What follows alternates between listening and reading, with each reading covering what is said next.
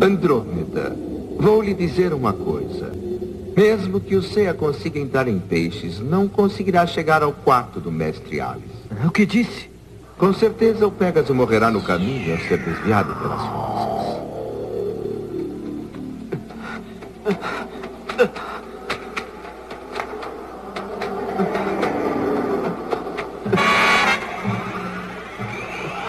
O que.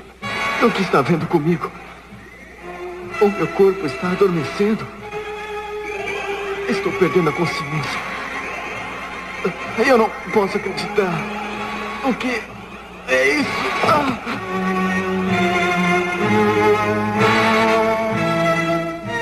As rosas que cobrem o caminho não são rosas comuns. São rosas envenenadas, plantadas e cultivadas no Jardim Real com o objetivo de bloquear qualquer invasor. São as rosas diabólicas. Como assim? Assim que você aspira o pólen ou toca nos espinhos, a sua função física diminui, você perde os cinco sentidos e finalmente morre. Duvido que o Pegasus ande cinco passos para frente. Ceia! Ceia! Não! Onde pensa que vai? Achei que você lutaria comigo, Andrômeda.